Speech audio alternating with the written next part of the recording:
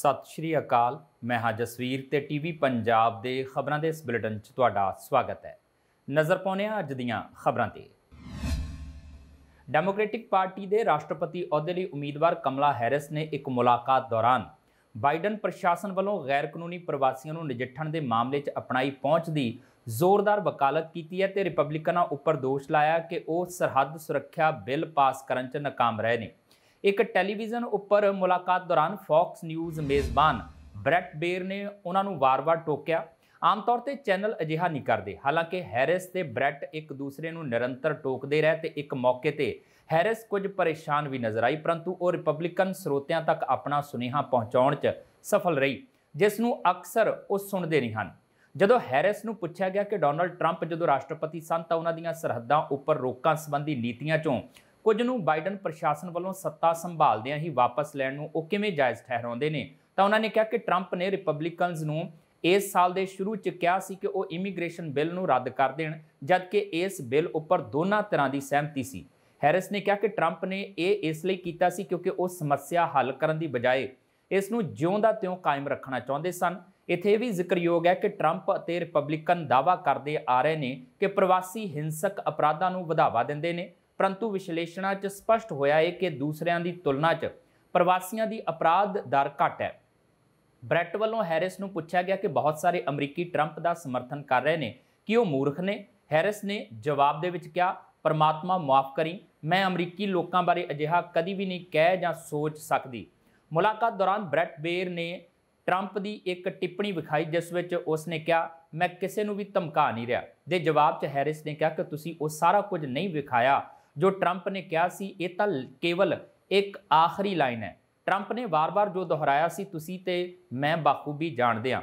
ਤੁਸੀਂ ਤੇ ਮੈਂ ਜਾਣਦੇ ਹਾਂ ਕਿ ਟਰੰਪ ਨੇ ਕਿਹਾ ਸੀ ਕਿ ਉਹ ਅਮਰੀਕੀ ਲੋਕਾਂ ਉੱਪਰ ਫੌਜ ਤਾਇਨਾਤ ਕਰ ਦੇਣਗੇ, ਕਿ ਇਹ ਲੋਕਤੰਤਰ ਹੈ। ਇਹ ਪੁੱਛੇ ਜਾਣ ਤੇ ਕਿ ਬਾਈਡਨ ਪ੍ਰਸ਼ਾਸਨ ਦੀ ਕੋਈ ਵੀ ਅਜਿਹੀ ਚੀਜ਼ ਨਹੀਂ ਹੈ, ਜਿਸ ਨੂੰ ਉਹ ਬਦਲਣਾ ਚਾਹਣਗੇ, ਤਾਂ ਹੈਰਿਸ ਨੇ ਕਿਹਾ, ਮੈਂ ਸਪਸ਼ਟ ਕਰਨਾ ਚਾਹੁੰਦੀ ਹਾਂ ਕਿ ਮੇਰਾ ਕਾਰਜਕਾਲ ਬਾਈਡਨ ਪ੍ਰਸ਼ਾਸਨ ਦੇ ਕਾਰਜਕਾਲ ਦੀ ਨਿਰੰਤਰਤਾ ਨਹੀਂ ਹੋਵੇਗਾ। ਮੈਂ ਆਪਣੇ ਤਰੀਕੇ ਨਾਲ ਕੰਮ ਕਰਾਂਗੀ। ਹੈਰਿਸ ਨੇ ਕਿਹਾ ਕਿ ਉਹ ਘਰਾਂ ਦੀਆਂ ਘਾਟਾਂ ਨੂੰ, ਸਮੱਸਿਆ ਨੂੰ ਹੱਲ ਕਰਨ ਤੇ ਛੋਟੇ ਕਾਰੋਬਾਰਾਂ ਨੂੰ ਉਤਸ਼ਾਹਿਤ ਕਰਨ ਵਾਸਤੇ ਰਿਪਬਲਿਕਨਸ ਤੇ ਕਾਰੋਬਾਰੀ ਮਾਲਕਾਂ ਦੇ ਵਿਚਾਰਾਂ ਨੂੰ ਅਹਿਮੀਅਤ ਦੇਣਗੇ। ਉਹਨਾਂ ਕਿਹਾ ਕਿ ਬਾਈਡਨ ਕੋਲ ਨਿਰਣੇ ਲੈਣ ਤੇ ਰਾਸ਼ਟਰਪਤੀ ਵਜੋਂ ਕੰਮ ਕਰਨ ਦਾ ਤਜਰਬਾ ਹੈ ਉਹਨਾਂ ਨੇ ਅਹੁਦਾ ਸੰਭਾਲਣ ਸੰਬੰਧੀ ਟਰੰਪ ਦੀ ਯੋਗਤਾ ਉੱਪਰ ਸਵਾਲ ਉਠਾਇਆ ਤੇ ਕਿਹਾ ਕਿ ਟਰੰਪ ਲੜ ਰਿਹਾ ਹੈ ਬਾਈਡਨ ਨਹੀਂ।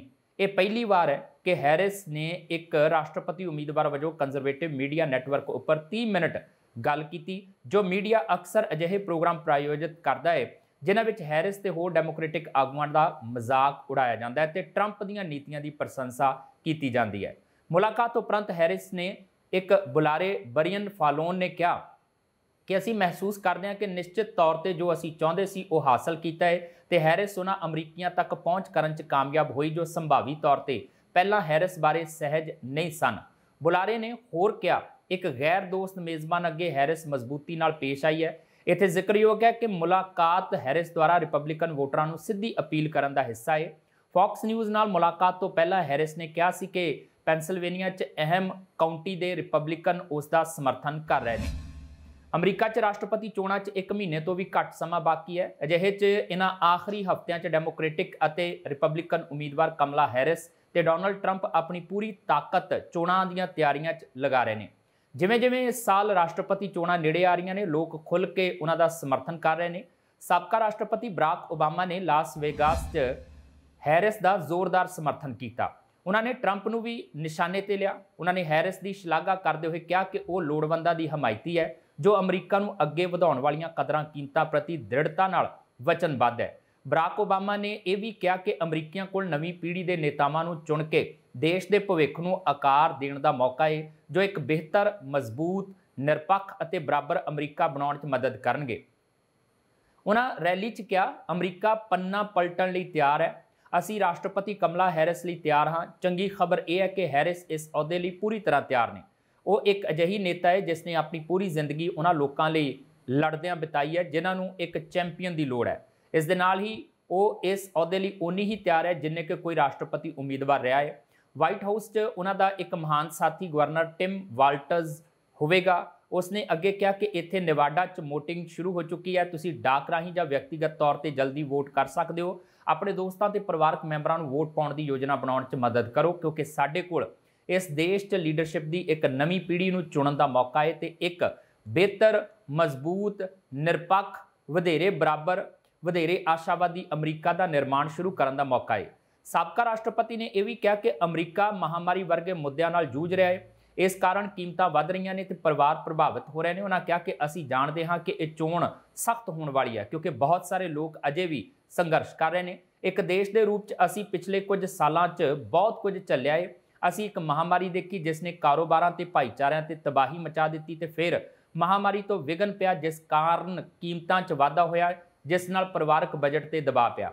ਇਸ ਲਈ ਮੈਂ ਸੋਚਦਾ ਹਾਂ ਕਿ ਲੋਕ ਚੀਜ਼ਾਂ ਬਦਲ ਰਹੇ ਨੇ। ਇਹ ਸਮਝਣ ਯੋਗ ਹੈ, ਮੈਂ ਸਮਝਦਾ ਹਾਂ। ਮੈਨੂੰ ਸਮਝ ਨਹੀਂ ਆਉਂਦੀ ਕਿ ਕੋਈ ਵੀ ਇਹ ਕਿਉਂ ਸੋਚੇਗਾ ਕਿ ਡੋਨਲਡ ਟਰੰਪ ਚੀਜ਼ਾਂ ਨੂੰ ਇਸ ਤਰੀਕੇ ਨਾਲ ਬਦਲ ਦੇਵੇਗਾ, ਜੋ ਲੋਕਾਂ ਲਈ ਚੰਗਾ ਹੋਵੇਗਾ, ਕਿਉਂਕਿ ਇਸ ਗੱਲ ਦਾ ਕੋਈ ਸਬੂਤ ਨਹੀਂ ਹੈ ਕਿ ਇਹ ਵਿਅਕਤੀ ਆਪਣੇ ਤੋਂ ਇਲਾਵਾ ਕਿਸੇ ਹੋਰ ਦੀ ਪਰਵਾਹ ਕਰਦਾ ਹੈ। ਅਰਬਪਤੀ ਕਾਰੋਬਾਰੀ ਐਲਨ ਮਸਕ ਨੇ ਅਮਰੀਕੀ ਵੋਟਰਾਂ ਨਾਲ ਵਾਅਦਾ ਕੀਤਾ ਹੈ ਕਿ ਰਾਸ਼ਟਰਪਤੀ ਚੋਣਾਂ 'ਚ ਹਰ ਰੋਜ਼ ਇੱਕ ਵੋਟਰ ਨੂੰ 1 ਮਿਲੀਅਨ ਡਾਲਰ ਜਿੱਤਣ ਦਾ ਮੌਕਾ ਮਿਲੇਗਾ। ਇਸ ਦੇ ਲਈ ਸ਼ਰਤ ਦਾ ਐਲਾਨ ਕਰਦੇ ਹੋਏ ਉਹਨਾਂ ਨੇ ਕਿਹਾ ਕਿ ਜੋ ਕੋਈ ਵੀ ਅਮਰੀਕੀ ਸੰਵਿਧਾਨ ਦੀ ਹਮਾਇਤ ਵਾਲੀ ਉਹਨਾਂ ਦੀ ਪਟੀਸ਼ਨ ਲਈ ਦਸਤਖਤ ਮੁਹਿੰਮ 'ਚ ਹਿੱਸਾ ਲਵੇਗਾ। ਉਹਨਾਂ ਵਿੱਚ ਰੋਜ਼ਾਨਾ ਇੱਕ ਅਮਰੀਕੀ ਵੋਟਰ ਨੂੰ 1 ਮਿਲੀਅਨ ਡਾਲਰ ਦਾ ਇਨਾਮ ਦਿੱਤਾ ਜਾਵੇਗਾ। ਮਸਕ ਨੇ ਕਿਹਾ ਕਿ ਇਹ ਚੋਣ ਮਿਤੀ 5 ਨਵੰਬਰ ਤੱਕ ਹਰ ਰੋਜ਼ ਜਾਰੀ ਰਹੇਗਾ। ਦਿਲਚਸਪ ਗੱਲ ਇਹ ਹੈ ਕਿ ਸ਼ਨੀਵਾਰ ਨੂੰ ਇਸ ਐਲਾਨ ਦੇ ਨਾਲ ਮਸਕ ਨੇ ਆਪਣੀ ਪਟੀਸ਼ਨ ਦੇ ਸਮਰਥਨ 'ਚ ਦਸਤਖਤ ਕਰਨ ਵਾਲੇ ਵੋਟਰਾਂ ਨੂੰ 1 ਮਿਲੀਅਨ ਡਾਲਰ ਦਾ ਚੈੱਕ ਵੀ ਸੌਂਪਿਆ। ਇਹ ਵਿਅਕਤੀ ਪੈਂਸਲਵੇਨੀਆ 'ਚ ਮਸਕ ਦੀ ਰੈਲੀ 'ਚ ਸ਼ਾਮਲ ਹੋਇਆ ਸੀ, ਜੋ ਰਿਪਬਲਿਕਨ ਰਾਸ਼ਟਰਪਤੀ ਅਹੁਦੇ ਦੇ ਉਮੀਦਵਾਰ ਡੋਨਲਡ ਟਰੰਪ ਦੇ ਸਮਰਥਨ 'ਚ ਆਯੋਜਿਤ ਕੀਤੀ ਗਈ ਸੀ। ਮਸਕ ਦੀ ਪਟੀਸ਼ਨ ਦਾ ਸਮਰਥਨ ਕਰਨ ਤੋਂ ਬਾਅਦ ਪਹਿਲੇ ਦਿਨ ਜੌਨ ਡਰੇਹਰ ਨਾਂ ਦੇ ਵਿਅਕਤੀ ਨੂੰ ਮਿਲੀਅਨ ਡਾਲਰ ਦੇ ਇਨਾਮ ਦਾ ਐਲਾਨ ਕੀਤਾ ਗਿਆ ਸੀ। ਜੌਨ ਨੂੰ ਚੈੱਕ ਸੌਂਪਦੇ ਹੋਏ ਐਲਨ ਮਸਕ ਨੇ ਕਿਹਾ ਕਿ ਉਹਨਾਂ ਨੂੰ ਇਹ ਵੀ ਨਹੀਂ ਪਤਾ ਸੀ ਕਿ ਉਹਨਾਂ ਨੂੰ ਇਹ ਇਨਾਮ ਮਿਲਣ ਵਾਲਾ ਹੈ ਇਸ ਲਈ ਸਵਾਗਤ ਹੈ। ਤੁਹਾਨੂੰ ਦੱਸ ਦਈਏ ਕਿ ਅਰਬਪਤੀ ਐਲਨ ਮਸਕ ਰਾਸ਼ਟਰਪਤੀ ਚੋਣਾਂ 'ਚ ਡੋਨਲਡ ਟਰੰਪ ਦੇ ਸਮਰਥਨ 'ਚ ਲਗਾਤਾਰ ਪ੍ਰਚਾਰ ਕਰ ਰਹੇ ਨੇ। ਡੈਮੋਕ੍ਰੇਟ ਉਮੀਦਵਾਰ ਕਮਲਾ ਹੈਰਿਸ ਨੂੰ ਹਰਾਉਣ ਲਈ ਮਸਕ ਦੇ ਪੈਸੇ ਦੀ ਵਰਤੋਂ ਕਰਨ ਦੇ ਇਸ ਕਦਮ ਨੂੰ ਕਾਫੀ ਅਨੋਖਾ ਮੰਨਿਆ ਜਾ ਰਿਹਾ ਹੈ। ਮਸਕ ਨੇ ਟਰੰਪ ਦੀ ਰਾਸ਼ਟਰਪਤੀ ਚੋਣ ਮੁਹਿੰਮ ਲਈ ਆਪਣਾ ਸੰਗਠਨ ਅਮਰੀਕਾ ਪੀਏਸੀ ਸ਼ੁਰੂ ਕੀਤਾ ਸੀ। ਇਹ ਸਿਆਸੀ ਸੰਗਠਨ ਡੈਮੋਕ੍ਰੈਟਿਕ ਅਤੇ ਰਿਪਬਲਿਕਨ ਪਾਰਟੀਆਂ ਦੇ ਆਪਸੀ ਟਕਰਾਅ 'ਚ ਰਾਜਾਂ 'ਚ ਰਜਿਸਟਰਡ ਵੋਟਰਾਂ ਨੂੰ ਆਪਣੇ ਨਾਲ ਲਿਆਉਣ ਦੀ ਕੋਸ਼ਿਸ਼ ਕਰ ਰਿਹਾ ਹੈ। ਹਾਲਾਂਕਿ, ਇਹਨਾਂ ਰਾਜਾਂ 'ਚ ਇਹ ਕੰਮ ਬਿਲਕੁਲ ਵੀ ਆਸਾਨ ਨਹੀਂ ਹੈ। ਐਲਨ ਮਸਕ ਰਿਪਬਲਿਕਨ ਰਾਸ਼ਟਰਪਤੀ ਅਹੁਦੇ ਦੇ ਉਮੀਦਵਾਰ ਡੋਨਲਡ ਟਰੰਪ ਦੇ ਕੱਟੜ ਸਮਰਥਕ ਵਜੋਂ ਉੱਭਰੇ ਨੇ। ਉਹਨਾਂ ਨੇ ਸਾਬਕਾ ਰਾਸ਼ਟਰਪਤੀ ਦੀ ਰਾਜਨੀਤਿਕ ਐਕਸ਼ਨ ਕਮੇਟੀ ਨੂੰ 75 ਮਿਲੀਅਨ ਡਾਲਰ ਦਾ ਦਾਨ ਕੀਤਾ ਤਾਂ ਜੋ ਉਹਨਾਂ ਨੂੰ ਵਾਈਟ ਹਾਊਸ 'ਚ ਵਾਪਸ ਲਿਆਂਦਾ ਜਾ ਸਕੇ। ਇਸ ਦਾਨ ਨੇ ਮਸਕ ਨੂੰ 2024 ਚੱਕਰ ਦੇ ਸਭ ਤੋਂ ਵੱਡੇ ਖਰਚਾ ਕਰਨ ਵਾਲਿਆਂ 'ਚੋਂ ਇੱਕ ਬਣਾ ਦਿੱਤਾ ਹੈ। ਭਾਰਤ ਤੇ ਕੈਨੇਡਾ ਦਰਮਿਆਨ ਵੱਧਦੇ ਵਿਵਾਦ ਦੇ ਮੱਦੇਨਜ਼ਰ ਕੈਨੇਡਾ ਦੇ ਭਾਰਤ ਵਿਚਲੇ ਸਾਬਕਾ ਰਾਜਦੂਤ ਕੈਮਰਨ ਮੈਕੇ ਨੇ ਦੋਸ਼ ਲਗਾਇਆ ਕਿ ਅਮਰੀਕਾ 'ਚ ਗੁਰਪਤਵੰਤ ਸਿੰਘ ਪੰਨੂ ਦੀ ਹੱਤਿਆ ਦੀ ناکਾਮ ਕੋਸ਼ਿਸ਼ ਅਤੇ ਕੈਨੇਡਾ ਦੇ ਵਿੱਚ ਹਰਦੀਪ ਸਿੰਘ ਨਿੱਜਰ ਦੀ ਹੱਤਿਆ ਇੱਕ ਹੀ ਸਾਜ਼ਿਸ਼ ਦਾ ਹਿੱਸਾ ਸੀ। ਅਗਸਤ 'ਚ ਭਾਰਤ ਛੱਡਣ ਵਾਲੇ ਕੈਮਰਨ ਨੇ ਕਿਹਾ ਕਿ ਇਨ੍ਹਾਂ ਮਾਮਲਿਆਂ ਦੀ ਅਮਰੀਕਾ ਤੇ ਕੈਨੇਡਾ ਵੱਖਰੇ-ਵੱਖਰੀ ਜਾਂਚ ਕਰ ਰਹੇ ਨੇ ਉਹਨਾਂ ਕਿਹਾ ਕਿ ਭਾਰਤ ਸੋਚਦਾ ਹੈ ਕਿ ਉਸ ਦੇ ਏਜੰਟ ਵਿਦੇਸ਼ੀ ਧਰਤੀ ਤੇ ਹਿੰਸਾ ਕਰਕੇ ਵਾਪਸ ਬਚ ਕੇ ਆ ਸਕਦੇ ਨੇ, ਜੋ ਗਲਤ ਹੈ। ਸੀਬੀਸੀ ਨਿਊਜ਼ ਨੂੰ ਦਿੱਤੀ ਇੱਕ ਇੰਟਰਵਿਊ 'ਚ ਕੈਮਰੌਨ ਮੈਕੇ ਨੇ ਕਿਹਾ ਕਿ ਇਹ ਭਾਰਤ ਦੀ ਸਭ ਤੋਂ ਵੱਡੀ ਰਣਨੀਤਿਕ ਗਲਤੀ ਸੀ। ਦੱਸਣਾ ਬਣਦਾ ਕਿ ਪਿਛਲੇ ਸਾਲ ਕੈਨੇਡਾ ਦੀ ਧਰਤੀ ਤੇ ਹਰਦੀਪ ਸਿੰਘ ਨਿੱਜਰ ਦੀ ਹੱਤਿਆ 'ਚ ਭਾਰਤ ਸਰਕਾਰ ਦੀ ਸ਼ਮੂਲੀਅਤ ਸੰਬੰਧੀ ਆਟੋਵਾ ਵੱਲੋਂ ਲਾਏ ਗਏ ਦੋਸ਼ਾਂ ਨੂੰ ਨਵੀਂ ਦਿੱਲੀ ਨੇ ਖਾਰਜ ਕਰ ਦਿੱਤਾ ਸੀ। ਇਸ ਮਾਮਲੇ ਸੰਬੰਧੀ ਹਾਲ ਹੀ 'ਚ ਮੁੜ ਤਣਾਅ ਵਧਣ ਮਗਰੋਂ ਭਾਰਤ ਨੇ 6 ਡਿਪਲੋਮੈਟਸ ਨੂੰ ਭਾਰਤ ਛੱਡਣ ਲਈ ਕਿਹਾ ਸੀ। ਤੇ ਇਹ ਕੈਨੇਡੀਅਨ ਡਿਪਲੋਮੈਟ ਬੀਤੇ ਦਿਨੀ ਨਵੀਂ ਦਿੱਲੀ ਛੱਡ ਗਏ ਸਨ। ਭਾਰਤ ਨੇ ਆਪਣੇ ਹਾਈ ਕਮਿਸ਼ਨਰ ਅਤੇ ਪੰਜ ਹੋਰ ਡਿਪਲੋਮੈਟਸ ਨੂੰ ਵੀ ਕੈਨੇਡਾ ਤੋਂ ਵਾਪਸ ਸੱਦ ਲਿਆ। ਕੈਮਰੌਨ ਮੈਕੇ ਨੇ ਕਿਹਾ ਕਿ ਕੈਨੇਡਾ ਸਰਕਾਰ ਲਈ ਦੇਸ਼ ਦੇ ਨਾਗਰਿਕਾਂ ਦੀ ਸੁਰੱਖਿਆ ਸਭ ਤੋਂ ਅਹਿਮ ਹੈ, ਪਰ ਭਾਰਤ ਨੇ ਇਸ ਮਾਮਲੇ 'ਚ ਕੈਨੇਡਾ ਨਾਲ ਸਹਿਯੋਗ ਨਹੀਂ ਕੀਤਾ। ਅਮਰੀਕਾ ਦੇ ਮਿਸੀਸਿਪੀ 'ਚ ਇੱਕ ਸਕੂਲ ਦੇ ਮੈਦਾਨ 'ਚ ਫੁੱਟਬਾਲ ਮੈਚ ਦੀ ਜਿੱਤ ਦਾ ਜਸ਼ਨ ਮਨਾ ਰਹੇ ਲੋਕਾਂ ਉੱਤੇ ਦੋ ਅਣਪਛਾਤੇ ਵਿਅਕਤੀਆਂ ਨੇ ਗੋਲੀਆਂ ਚਲਾ ਦਿੱਤੀਆਂ, ਜਿਸ ਵਿੱਚ ਤਿੰਨ ਲੋਕਾਂ ਦੀ ਮੌਤ ਹੋ ਗਈ ਤੇ 8 ਹੋਰ ਜ਼ਖਮੀ ਹੋ ਗਏ। ਰਿਪੋਰਟ ਮੁਤਾਬਕ ਗੋਲੀਬਾਰੀ ਕੁਝ ਲੋਕਾਂ ਵਿਚਾਲੇ ਲੜਾਈ ਤੋਂ ਬਾਅਦ ਹੋਈ।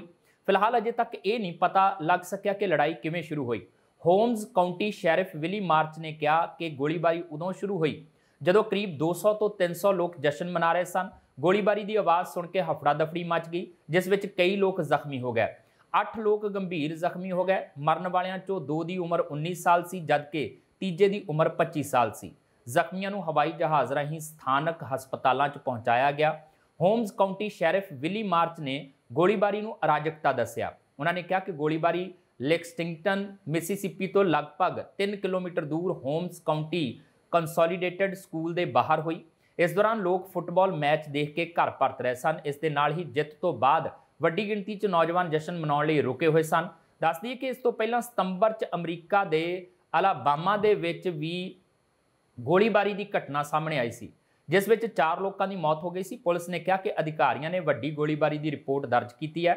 ਬਰਮਿੰਗਮ ਪੁਲਿਸ ਵਿਭਾਗ ਨੇ ਟਵਿੱਟਰ ਤੇ ਇੱਕ ਪੋਸਟ 'ਚ ਲਿਖਿਆ ਕਿ ਗੋਲੀਬਾਰੀ ਸ਼ਹਿਰ ਦੇ 5 ਪੁਆਇੰਟ ਸਾਊਥ ਇਲਾਕੇ 'ਚ ਹੋਈ। ਇਜ਼ਰਾਈਲ ਦੇ ਪ੍ਰਧਾਨ ਮੰਤਰੀ ਬੈਂਜਾਮਿਨ ਨੇਤਨਯਾਹੂ ਨੇ ਹਿਜ਼ਬੁੱਲਾ ਵੱਲੋਂ ਉਸ ਨੂੰ ਅਤੇ ਉਸ ਦੀ ਪਤਨੀ ਨੂੰ ਮਾਰਨ ਦੀ ਕਥਿਤ ਕੋਸ਼ਿਸ਼ ਨੂੰ ਗੰਭੀਰ ਗਲਤੀ ਦੱਸਿਆ ਹੈ। ਇਸ ਤੋਂ ਬਾਅਦ ਇਜ਼ਰਾਈਲ ਨੇ ਗਾਜ਼ਾ ਵਿੱਚ ਤਬਾਹੀ ਮਚਾਈ ਹੈ। ਮਿਲੀ ਜਾਣਕਾਰੀ ਮੁਤਾਬਕ ਉੱਤਰੀ ਗਾਜ਼ਾ ਦੇ ਬੀਤ ਲਹੀਆ ਸ਼ਹਿਰ ਤੇ ਸ਼ਨੀਵਾਰ ਸ਼ਾਮ ਇਜ਼ਰਾਈਲੀ ਹਮਲੇ 'ਚ ਘੱਟੋ-ਘੱਟ 73 ਫਲਸਤੀਨੀ ਮਾਰੇ ਗਏ। ਹਮਲੇ 'ਚ 100 ਤੋਂ ਵੱਧ ਲੋਕ ਜ਼ਖਮੀ ਹੋਏ ਨੇ ਤੇ ਕਈ ਲੋਕ ਲਾਪਤਾ ਨੇ। ਰਿਪੋਰਟ ਮੁਤਾਬਕ ਗਾਜ਼ਾ ਪੱਟੀ ਦੇ ਡਾਕਟਰਾਂ ਨੇ ਕਿਹਾ ਕਿ ਇਜ਼ਰਾਈਲੀ ਹਵਾਈ ਹਮਲੇ ਨੇ ਇੱਕ ਬਹੁ ਮੰਜ਼ਿਲਾ ਇਮਾਰਤ ਨੂੰ ਨਿਸ਼ਾਨਾ ਬਣਾਇਆ ਤੇ ਕਈ ਨੇੜਲੇ ਘਰਾਂ ਨੂੰ ਨੁਕਸਾਨ ਪਹੁੰਚਾਇਆ।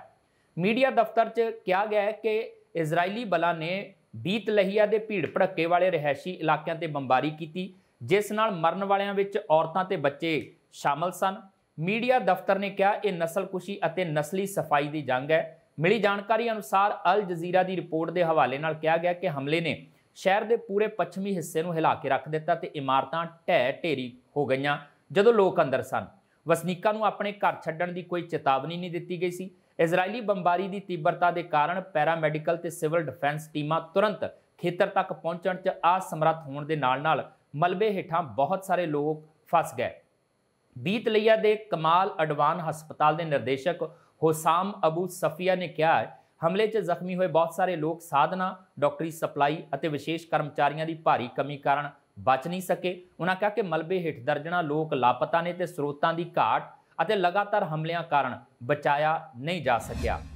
ਇਹ ਸਨ ਹੁਣ ਤੱਕ ਦੀਆਂ ਖਬਰਾਂ ਤੇ ਇਸ ਦੇ ਨਾਲ ਹੀ ਆਪਣੇ ਜਸਵੀਰ ਨੂੰ ਦਿਓ ਇਜਾਜ਼ਤ। ਦੇਖਦੇ ਰਹੋ ਟੀਵੀ ਪੰਜਾਬ।